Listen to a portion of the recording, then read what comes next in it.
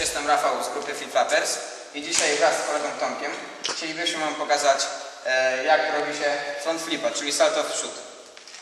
Ogólnie wbrew pozorom wszystkich początkujących ludzi front flip jest dużo trudniejszy od backflipa, więc jeżeli chcemy zaczynać, dużo lepiej jest zacząć od na przykład tego salta w tył. Może zanim powiem, opiszę po kolei salto w przód, jak mieliśmy wykonywać, pokażemy złą formę front flipa. Tutaj kolega pokaże. Jak widzimy bardzo powolny nabieg, brak blockingu, brak zwinięcia i mamy level. Teraz po kolei. Jak powinien, znaczy może jak powinniśmy zacząć naukę flipa. E, najlepiej zaczynać na jakimś miękkim podłożu, nie wybierać od razu trawy czy e, po prostu twardego podłoża. Tego powinniśmy na początku unikać, bo będziemy mieć problemy ze stawami i tym podobne.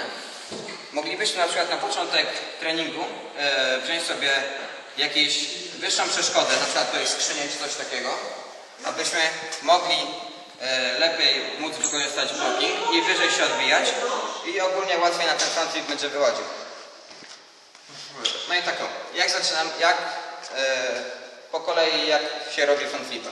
Na początku, kiedy bierzemy nabieg, musi być on szybki, dynamiczny. Nie możemy tam biec powoli, czy sprawdzać sobie kroczków, tylko musimy biec szybko i dynamicznie. Kiedy mamy, bierzemy ostatni krok przed punktem wybicia, musimy się jak najmocniej odbić i lecieć jak najdalej. W tym samym czasie, kiedy jesteśmy w powietrzu, stworzyć jak największe kąty między swoim tułowiem a nogami. Wtedy będziemy mieli między taką pozycję.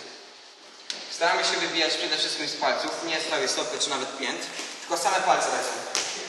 Wtedy lekko uginamy kolana i wybijamy się w górę. Eee, i teraz jak wygląda zamach. Na początku nie, mo nie możemy robić... Odsuń się trochę.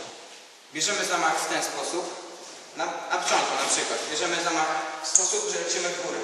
Ale kiedy jesteśmy już bardziej zaawansowani i chcemy na przykład robić tego front flipa do rundaka i back flipa na przykład, e, przydałoby się nam zamach w ten sposób, że jedziemy w tył. Wtedy mamy dużo lepszą wysokość i dużo większą dynamikę tego salta. Wtedy będzie nam dużo łatwiej e, zrobić coś po nim. Następnym elementem po zamachu jest zwinięcie.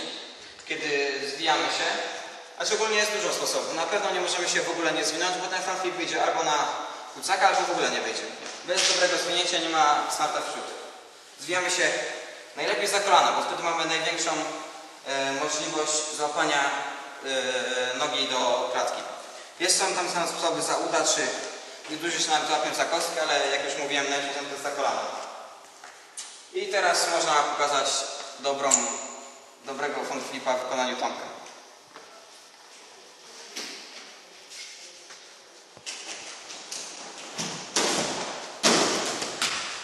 Just send me right now. Okay.